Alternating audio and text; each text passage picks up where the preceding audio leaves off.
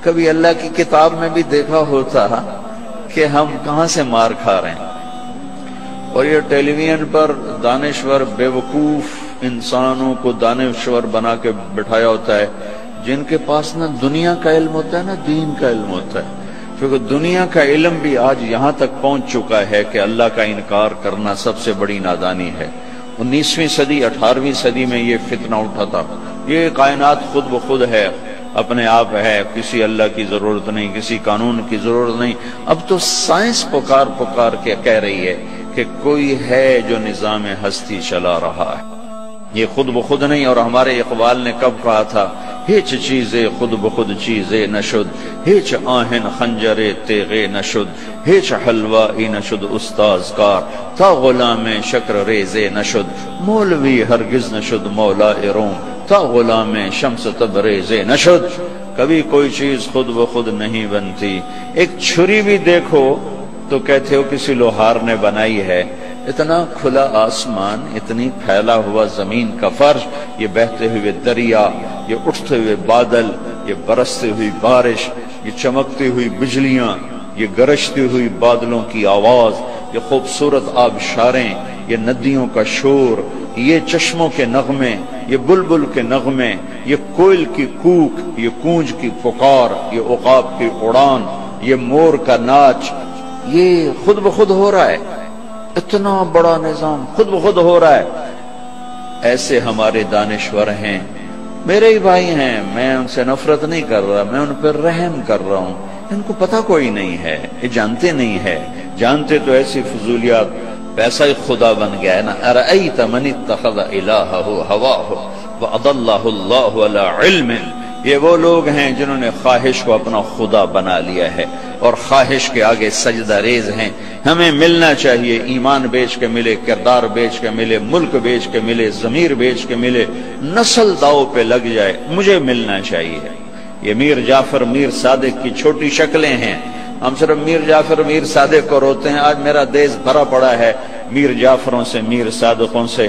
تو تو ہم لوڈ شیڈنگ کا گلہ کیوں کریں؟ نون لیگ کا گلہ کیوں کریں؟ قاف لیگ کا، People Party, M Q M. ہم ان کے گلے کیوں کریں؟ ہم یہ دیکھیں، میرا اللہ کیا کہہ رہا ہے؟ میرا اللہ کیا کہہ رہا ہے؟ جو اس کائنات کا خالق ہے، جس کے بغیر پتہ نہیں ہلتا۔ ما تسقط من ورقت الا يعلمها. پتہ بھی گرتا ہے تو اللہ جانتا ہے. اور پتہ بھی گرتا ہے تو پوچھ کے گرتا ہے جس کی اتنی بڑی طاقت ہے، اس نے ایک نظام بنایا ہے۔ وہ نظام میرے بھائیوں کیسے چلتا ہے؟ پہلے اللہ اپنا دعویٰ ثابت کرتا ہے، ما یفتح اللہ للناس من رحمت فلا ممسک لها مجھے یہ بتاؤ، اگر میں تمہارے دروازے بند کر دوں تو پھر کوئی کھلوا لے گا؟ کوئی ہے کھول کے دکھا سکتا؟ ما یفتح اللہ اگر میں تمہارے دروازے کھول دوں اور پاکستان کے حالات ٹھیک کر دوں، تو کیا کوئی امریکہ کی سازش اور اسرائیل کی سازش اور ہندوستان کی سازش اور یورپ کی سازش اور فرانس کی، برطانیہ کی کوئی سازش کامیاب ہو سکتی؟ یمسک السماوات والارض ان تزولا، زمین آسمان کو تیرے رب نے تھاما ہوا ہے، اللہ اکبر۔ یولج اللیل فی النہار ویولج النہار فی اللیل راتوں کی تنابیں کھینچ کر سکیڑ دیتا ہے. دن کی تنابیں کھینچ کر سکیڑ دیتا ہے. میں دن اب چھوٹے کر رہا ہوں، تم لمبے کر کے دکھا دو میں اب راتیں لمبی کر رہا ہوں، تم چھوٹی کر کے دکھا دو الشمس والقمر والنجوم مسخرات بے سورج، چاند، ستارے، سیارے، تیرے رب کے غلام ہیں. تیرے رب کے تابع ہیں۔ قل ارأيتم من جعل الله عليكم الليل سرمدا الى يوم القيامة؟ من اله غير الله ياتيكم بضياء افلا تسمعون۔ ہے ہے کس پیار سے اللہ سمجھاتا ہے اور کس نادانی سے ہم اس کے دلائل کو ٹھکراتے میرے بندو، ایک بات تو بولو، میں یہ رات کھڑی کر دوں تو کوئی ہے دن لا کے دکھاتی کہ رات کھڑی کر دوں۔ کوئی ہے دن لا سکتا ہے؟ تو کیا اپنے اللہ سے پوچھے بغیر ہی دانشور بنے بیٹھے ہو؟ قل ارائیتم ان جعل اللہ علیکم النہار سرمدن الى یوم القیامہ. من الہ غیر اللہ یاتیکم بلیل تسکنون فیہ. افلا تبصرون؟ یہی دن جو کھڑا ہوا ہے، اسے ہی میں کھڑا کر دوں. تو کوئی ہے جو رات لا کے دکھا دے؟ کوئی ہے جو تمہیں نیند دے کے دکھا دے؟ جس رب کی کائنات میں بادشاہی بحر و بر پہ بادشاہی، عرش و فرش کا شہن شاہ جو شراکت سے پاک پارٹنرشپ سے پاک، جو ذوق سے پاک، کمزوری سے پاک، جہالت سے پاک، ظلم سے پاک، بیوی سے پاک، بچے سے پاک۔ نہ وہ باپ ہے، نہ وہ بیٹا ہے۔ قل ہو اللہ احد، جو بے مثال ہے۔ اللہ السمد جو بے نیاز ہے۔ لم یلد جو کسی کا باپ نہیں، ولم یولد جو کسی کا بیٹا نہیں، ولم یکن له کفوا احد، کوئی اس جیسا نہیں۔ اس سے نہیں پوچھتے اور بے وقوف دانشور بٹھائے ہوئے ہیں جنہوں نے ساری نسل کو گمراہ کیا ہوا ہے۔ وہ قابل رحم ہے انہوں نے پیسے لیے ہیں، انہوں نے پیسے لے کر میدان گرمانا ہے تاکہ ٹیلی ویژن والوں کو اور پیسے ملیں۔ میں خیر، میں میڈیا کو بھی کچھ نہیں کہتا، میرا ہی قصور ہے۔ میں نے محنت نہیں کی، میں نے نہیں سمجھا ممبر نے کون سا حق ادا کیا ہے؟ ممبر نے بھی آگ برسائی ہے، ممبر نے بھی نفرت کو پھیلایا۔ جگہ تو محبتوں کے بانٹنے کی تھی، محبتوں کو تقسیم کرنے کی تھی، لیکن ہم محروم ہو گئے۔ محروم، کوئی محرومی ایک طرح کی نہیں آئی۔ جس ممبر نے دلوں کو کھینچنا تھا، جس ممبر نے امت کو جوڑنا تھا۔ جس ممبر نے کالے اور گورے کو جوڑا، میرے نبی کے آخری جملہ ہے خطبہ عرفات کا۔ لا ترجع بعدی کفارا یضرب بعدکم رقاب بعد میرے بعد کافر نہ ہو جانا، ایک دوسرے کی گردن کاٹتے پھرنا۔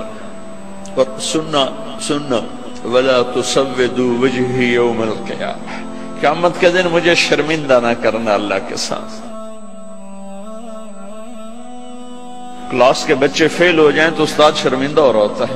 چاہے استاد نے پوری محنت کی ہو، شرمندہ ہو رہا ہوتا ہے کہ میری کلاس فیل ہو گئی۔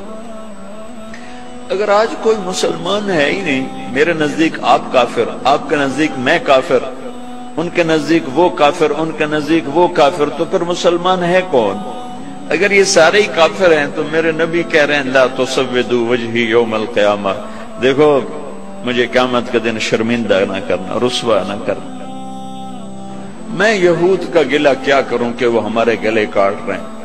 میں ان کا کیا کروں جو روز کراچی میں لاشیں گرا رہے ہیں؟ وہ یہودی ہیں جو پنجاب میں لاشیں گرا رہے ہیں، جو سرحد میں لاشیں گرا رہے ہیں، جو سندھ میں لاشیں گرا رہے ہیں، جو بیویوں کے منہ پہ تیزاب پھینک کے انہیں دردناک عذاب میں مبتلا کر رہے ہیں۔ یہ یہودی ہے عیسائی ہے جہیز نہ لانے پر بچی کو جلا رہے ہیں۔ یہ یہودی ہے بیٹی پیدا ہونے پر اس کے منہ پہ تیزاب۔ پڑھو اخبار کی خبریں۔ میرے اپنے علاقے کا واقعہ خاتون آئی، چہرہ جلا ہوا، دیکھا نہیں جا رہا تھا۔ بیٹے کا بھی اس کا کیا ہوا؟ کہ جی، میرے مرد میرے اتنے تیزاب سڑ چھڑے۔ مرد ہمارے یہاں خامد کو کہتے یہ تیزاب ڈالنے والا یہودی تھا۔ پہلے ہماری نسل کو مسلمان نے کاٹا، پھر غیروں نے کاٹا۔ پہلے مسلمان نے مسلمان کو لوٹا، پھر غیروں نے لوٹا۔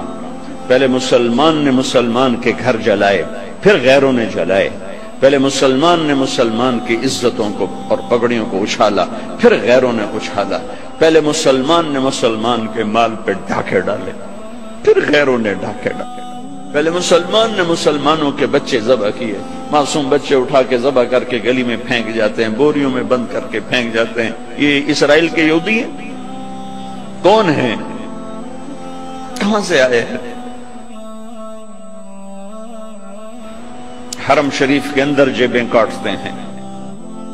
عیسائی ہیں، سکھ ہیں، سارے شہروں میں عزتیں نیلام ہیں۔ یہ اڈے کون چلا رہا ہے؟ یہ شراب کے اڈے، یہ زنا کے اڈے کون چلا رہا ہے؟ یا ایوہ الذین آمنوا انما الخمر والمیسر والازلام والانصاب۔ رجس من عمل الشیطان فاجتنبوه لعلكم تفلحون. انما يريد الشيطان ان يوقع بينكم العداوة والبغضاء في الخمر والميسر ويصدكم عن ذكر الله وعن الصلاة فهل انتم منتهون؟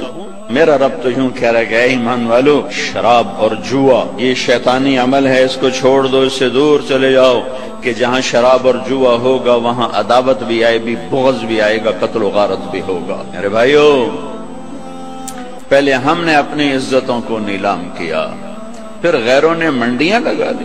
پہلے ہم نے مسلمان کی عزت کو داغدار کیا، پھر غیر خریدار بن گئے۔ غیروں کو گلا نہ دو، تو ادھر ادھر کی نہ بات کر یہ بتا کہ قافلہ کیوں لٹا مجھے راہ زنوں سے گلا نہیں، تیری راہ بری کا سوال ہے۔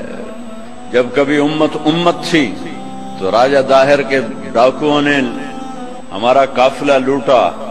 ایک لڑکی نے کہا، یا حجاج حجاج ظالم کوئی ہماری تاریخ کا اچھا انسان نہیں اچھا انسان نہیں، ہماری تاریخ کا کوئی قابل ذکر انسان نہیں، ظالم، یا الحجاج، اے حجاج، تو کہاں ہے بسرے کا عراق کا گورنر تھا، چند لوگ جان بچا کے بھاگ نکلے تھے وہ پہنچے تو انہوں نے حجاج سے کہا کہ ایک لڑکی نے یوں پکارا تھا، تو وہ کھڑا ہو گیا۔